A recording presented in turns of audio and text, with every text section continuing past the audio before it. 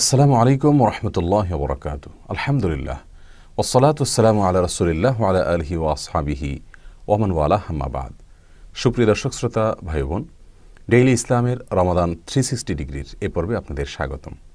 আজ আমরা কথা বলব নাক, কান অথবা চোখে যে ড্রপ আমরা ইউজ করে থাকি, এগুলোর ফলে আমাদের সিয়াম ভঙ্গ হবে কি না রোজা ভঙ্গ হবে কিনা। প্রিয় দর্শক, এ বিষয়ে মৌলিকভাবে একটি কথা বলতে চাই, আর তা হলো সুনান নাসাইতে একটি আসার বর্ণিত হয়েছে, আর সেটি হলো, শরীর থেকে কোনো কিছু বের হওয়া, এটা অজু ভঙ্গের কারণ হয়, আর শরীরে কোনো কিছু প্রবেশ করা, ভেতরে যাওয়া, এটা সাধারণত সিয়াম ভঙ্গের কারণ হয়।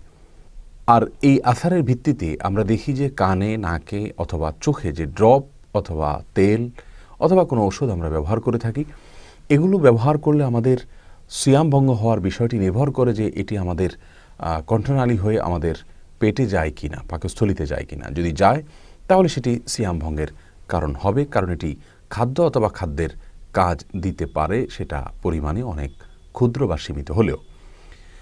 নাকের যে ড্রপগুলো আমরা ইউজ করি, সেটা এবং কানের যেগুলো ব্যবহার করি, সেগুলো এবং চোখের ব্যবহার করি, সেগুলো প্রত্যেকটি সম্পর্কে আলাদা আলাদাভাবে একটু একটু করে সংক্ষেপে আলোচনা করতে হবে।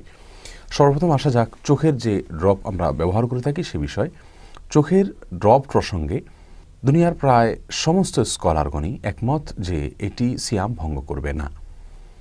এর মধ্যে আমরা দেখি যে ফতোয় তাতারখানি এবং বাদায়সানায় সহ আরও বিভিন্ন ফিকে হানাফির ফতোয়ার কিতাবে স্পষ্ট করে লেখা আছে যে চোখের যে ড্রপ বা ঔষধ জাতীয় কোনো কিছু ব্যবহার করা হয়ে থাকে, এটি যেহেতু কণ্ঠনালী হয়ে পাকস্থলিতে যাওয়ার সম্ভাবনা খুবই ক্ষীণ, সেরকম কোনো পথ নেই সরাসরি, সেজন্য এটি সিয়াম ভঙ্গ করবে না।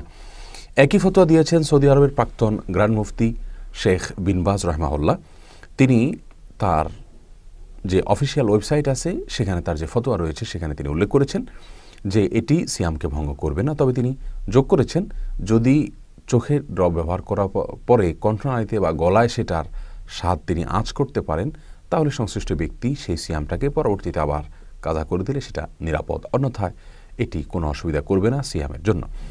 একই ফতোয়া আরও স্পষ্ট করে শেখ ইবনু সামির রাহিমাল্লাহ দিয়েছেন। তিনি বলেছেন যে চোখে ড্রপ ব্যবহার করলে, ওষুধ ব্যবহার করলে সেটি কোনোভাবে সিয়াম ভঙ্গ করবে না, কারণ এটি কণ্ঠনালী হয়ে পেট পর্যন্ত যাওয়ার পথ নাই। তাহলে আমরা চোখের ড্রপের বিধানটি আমরা জানলাম। এরপরে আসুন কানের ড্রপের বিষয়ে আমরা জানি। কানের ড্রপ ব্যবহার করা যাবে কিনা বা কোনো তেল ইত্যাদি ব্যবহার করা যাবে না, তরল কোনো ওষুধ দেওয়া যাবে কিনা, এ বিষয়ে আব্দুরুল মুখতার এবং ফতোয়া হিন্দিয়ায় লেখা আছে যে কানের ড্রপ এটা ব্যবহার করা যাবে না। এটার ব্যবহার করলে গলা হয়ে, কণ্ঠনালী হয়ে পেটে যাওয়ার আশঙ্কা রয়েছে। কিন্তু এক্ষেত্রে দেখি আমরা বিনবাজ এবং ইবনে ওসামির রহিমহল্লা সহ সৌদি আরবের অনেক স্কলারগণ, তারা বলেছেন যে না, কানের রব ব্যবহার করলে সেটি সিয়াম ভঙ্গের কারণ হবে না। কারণ কানের সাথে কণ্ঠনালী হয়ে পেটের সরাসরি কোনো সম্পর্ক নেই। এ বিষয়ে আমরা চিকিৎসকদের শরণাপন্ন হতে পারি। আমি একজন কান নাক গলার চিকিৎসকের সাথে কথা বলেছি, তিনি আমাকে জানিয়েছেন যে কানের সাথে কণ্ঠনালী হয়ে পেটের সরাসরি কোনো সম্পর্ক নেই, যার কারণে তিনি বলেছেন যে কানে যদি কোনো ড্রপ ব্যবহার করা হয়ে থাকে, সেটি কণ্ঠনালী হয়ে পেটে যাওয়ার সম্ভাবনা যেহেতু নেই, অতএব সিয়াম ভঙ্গ হওয়ার সম্ভাবনাও নাই। তবে যদি কারোর কানের পর্দায় সমস্যা থাকে, ফুটো থাকে, কোনো বিশেষ অসুবিধার কারণে গলা যাওয়ার আশঙ্কা রয়েছে সেটার খুবই ক্ষীণ এবং সীমিত। তাহলে কানের বিষয়টি আমরা দেখলাম যে কিছুটা মত পার্থক্য দেখা গেল, তবে সমস্ত মত এবং ডাক্তারদের গবেষণাগুলোকে সামনে রাখলে যেটি বাহ্যিকভাবে প্রতীয়মান হয়, সেটা হলো কানেও ড্রপ ব্যবহার করা যাবে। তবে একান্ত নিরুপায় হলে যদি না করেন, তো সবচেয়ে ভালো আপনি মত পার্থক্যের ঊর্ধ্বে থাকতে পারলেন। এবার আসা যাক, নাকে ড্রপ ব্যবহার করা যাবে কি না সিয়াম রেখে, রোজা রেখে, তাতে সিয়াম ভঙ্গ হবে কিনা। এ বিষয়ে আমরা দেখি যে সমস্ত স্কলারগুনি নিষেধ করেন নাকে ড্রপ ব্যবহার করার ক্ষেত্রে। আর এর মৌলিক একটি কারণ হলো যে তিরমিজি বর্ণিত একটি হাদিসে নবী সাল্লাহ সাল্লাম বলেছেন ওয়াবাল এক ফিলিস্তিন শাহ ইল্লান তাকুনা স এমা অর্থাৎ তুমি যখন নাকে পানি দিবে, তো সেই নাকে পানি দেওয়ার সময় ভালো করে নাকে পানি দিবে। তবে তুমি যদি সিয়াম পালনকারী হও, রোজাদার হও, তাহলে খুব বেশি ভালো করে দিতে যাবে না। তার মানে যদি ভালো করে দিতে যাও, তাহলে সেটি তোমার কণ্ঠনালী হয়ে পেটে যাওয়ার আশঙ্কা আছে।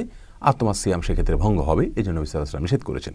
এ হাদিসের উপর ভিত্তি করে নাকের ড্রপ ব্যবহার করতে ওলামা একরাম নিষেধ করে থাকেন, কারণ নাকের ড্রপ ব্যবহার করলে সেটি কণ্ঠনালীর সাথে তার কানেকশন রয়েছে এবং কণ্ঠনালী হয়ে সেটি পেটে যাওয়ার সমূহ সম্ভাবনা রয়েছে। এই জন্য নাকের ড্রপ ব্যবহার করা ওলামা একরাম নিষেধ করেন, সেটা আমাদের দেশ ওলামা একরাম বলি, সৌদি আরবের ওলামা একরাম বলি, প্রায় সকলেই।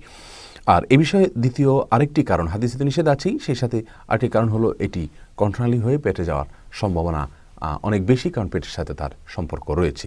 যেমনটি চিকিৎসকগণ বলে থাকেন, আর আমরাও জানি নাকে কোনো কিছু দিলে অনেক সময় বা বেশিরভাগ সময় সেটি আমরা কণ্ঠনালীতে তার স্বাদ অনুভব করে থাকি। যাই হোক, তাহলে আমরা নাক, কান, গলা নাক, কান এবং চোখ তিনটির মধ্যে সিদ্ধান্ত আমরা যেটা উপনীত হলাম, তা হলো চোখে ড্রপ ব্যবহার করা যাবে, প্রায় সবাই একমত, এবং নাকে ড্রপ ব্যবহার করা যাবে না, সিয়ামরত অবস্থায় এটাও প্রায় সবাই একমত, এবং সেই সাথে কানের বিষয়টি আমরা বলব এটি মতো পার্থক্যপূর্ণ। অনেকে বলেছেন করা যাবে, অনেকে বলেন করা যাবে না। আমাদের কাছে মনে হচ্ছে করা যাবে মতটি বেশি শক্তিশালী। ওল্লাহ আলামু বিশ্ববাব নিয়মিত ইসলামিক কন্টেন্ট পেতে ডেইলি ইসলামের অফিসিয়াল ফেসবুককে লাইক দিন। ইউটিউব চ্যানেল সাবস্ক্রাইব করে বেল বাটনে ক্লিক করুন। Daily Islam a complete guide to Islamic lifestyle